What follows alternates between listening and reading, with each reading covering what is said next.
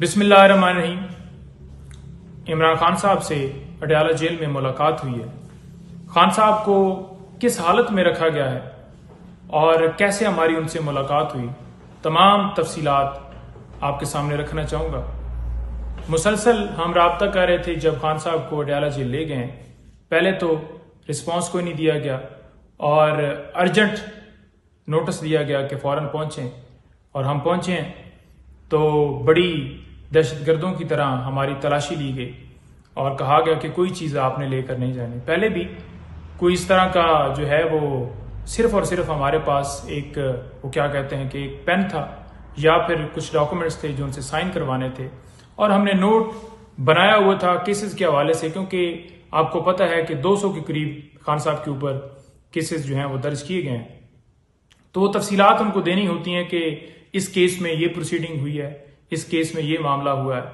तो वो उनसे डिस्कस होती हैं और वो जो उनसे हदायत मिलती हैं केसेस के हवाले से, वो फिर हम आगे आपस में डिस्कशन करते हैं। तो एक लीगल हवाले से हमारी डिस्कशन और उसको नोट करने के लिए, कुछ अपने नोट्स जो बनाए होते हैं उनसे शेयर करने के लिए, वो सारे पेपर्स और सारी चीज़ें हम लेकर जाते हैं।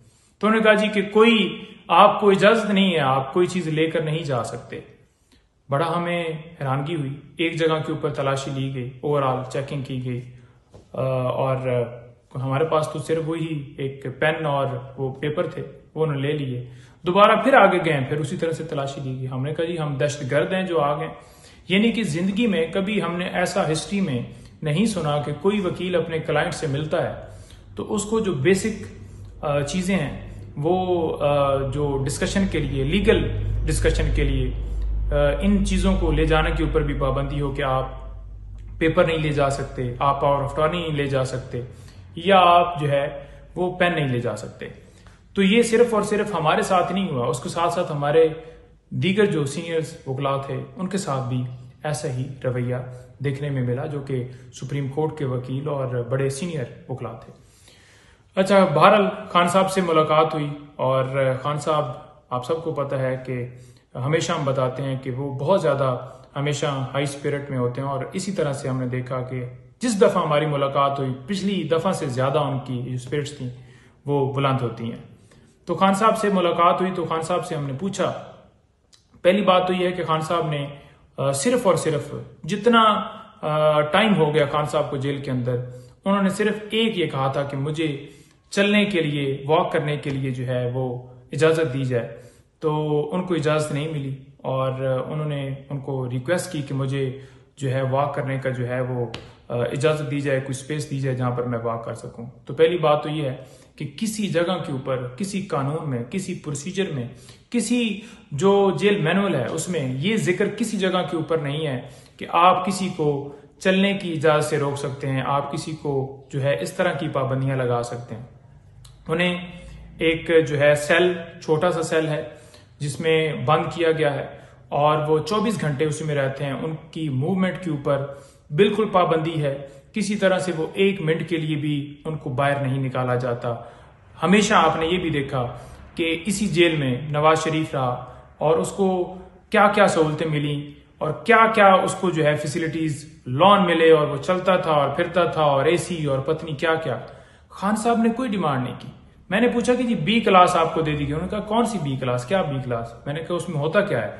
बताया कि वो चला रहे हैं जी कि कूलर आपको मिला है जी। उन्होंने कहा, जी, नहीं, कोई ऐसा नहीं। उसने कहा, नहीं कूलर मुझे चाहिए भी नहीं, क्योंकि मौसम ठीक है, मुझे कोई उसमें इशू नहीं और मैं तो इस चीज़ की मेरी डिमांड नहीं और मैंने तो सिर्फ़ वाक का कहा है बात यह है कि जो ये खबरें चलाई गई कि उनको बेटर फैसिलिटीज़ दे दी गई, सारी झूठी हैं।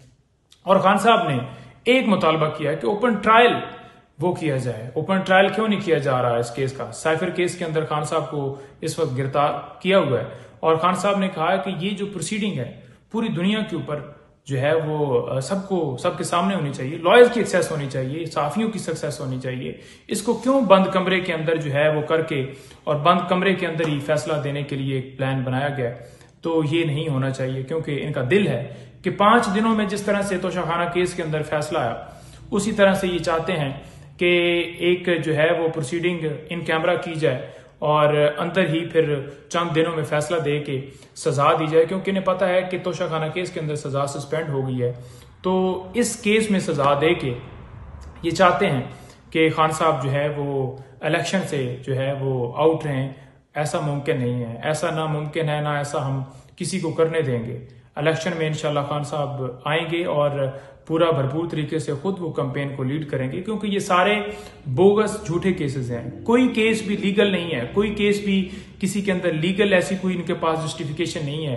कोई एफआईआर उठा लें, कोई केस उठा लें, सारे पोलिटिकली बनाए गए हैं, सियासी बुनियादों के ऊपर ये केसेस बनाए गए सुप्रीम कोर्ट के चीफ जस्टिस साहब से हम इस्तः करते हैं कि इसके ऊपर इंटरवीन करें ओपन ट्रायल होना चाहिए। उनको जो बुनियादी, जो उनका हक है, वो मिलना चाहिए, जो उनको फैसिलिटीज़ हैं, जो कानून के मुताबिक अलाउ हैं। बेशक वो क्लेम नहीं कर रहे सिर्फ़ वाक के अलावा। तो वो सारी चीज़ें मिलनी चाहिए। और इसके साथ साथ ये जो डरते हैं, खान साहब की तस्वीर से, कि खान साहब जो है वो बाहर आएँगे, वीडियो उनकी बनेगी, तस्वीर बनेगी तो इनका डर दूर किया जाए। और बेहतरीन सिक्योरिटी में खान साहब को अदालत में पेश किया जाए। ताकि जो फेयर ट्रायल है, जो आइन का आर्टिकल टेन ए है, वो वाजह तौर पर प्रोटेक्शन देता है हर शहरी को। वो नहीं, उनका बुनियादी हक है और उन्हें मिलना चाहिए। दूसरी चीज़ मैं आपको गुजारिश करता जाऊँ कि खान साहब बड़ा ही ज़्यादा खराज तसीम पेश कर रहे हैं उन लोगों को जो इस वक्त डट के खड़े हैं, जो इन हालात में, जिनको घरों के ऊपर रेड किए गए जिनके जो खातन बच्चों और उन पर तशद किया गया और जिनके रिश्तेदारों को उठाया गया, कारोबार बंद किए गए, जो इस वक्त जेलों में पड़े हैं।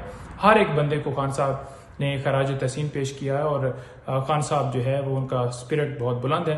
और उन्होंने कहा कि ये जो आज़ादी है, किसी को प्लेट में नहीं मिलती।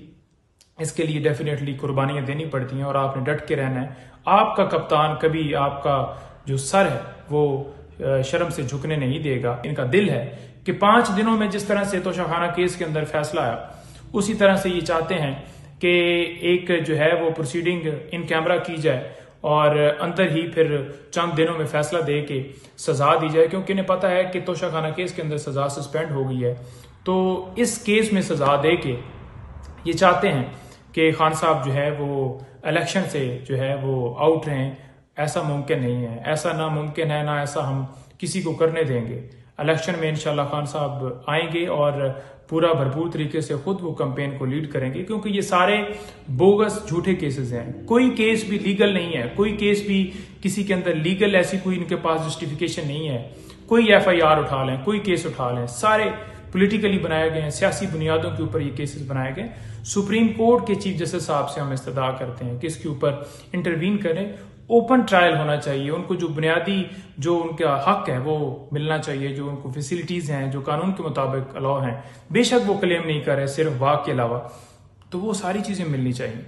और इसके साथ साथ ये जो डरते हैं, खान साहब की तस्वीर से, कि खान साहब जो है वो बाहर आएँगे, वीडियो उनकी बनेगी, तस्वीर बनेगी तो इनका डर दूर किया जाए। और बेहतरीन सिक्योरिटी में खान साहब को अदालत में पेश किया जाए। ताकि जो फेयर ट्रायल है, जो आइन का आर्टिकल टेन ए है, वो वाजह तौर पर प्रोटेक्शन देता है हर शहरी को। वो नहीं, उनका बुनियादी हक है और उन्हें मिलना चाहिए। दूसरी चीज़ मैं आपको गुजारिश करता जाऊँ कि खान साहब बड़ा ही ज़्यादा खराज तसीम पेश कर रहे हैं उन लोगों को जो इस वक्त डट के खड़े हैं, जो इन हालात में, जिनको घरों के ऊपर रेड किए गए, जिनके जो खातन बच्चों और उन पर तशद किया गया और जिनके रिश्तेदारों को उठाया गया, कारोबार बंद किए गए, जो इस वक्त जेलों में पड़े हैं हर एक बंदे को खान साहब ने खराज तहसीन पेश किया है और खान साहब जो है वो उनका स्पिरिट बहुत बुलंद है। और उन्होंने कहा कि ये जो आज़ादी है, किसी को प्लेट में नहीं मिलती। इसके लिए डेफिनेटली कुर्बानियाँ देनी पड़ती हैं और आपने डट के रहना है।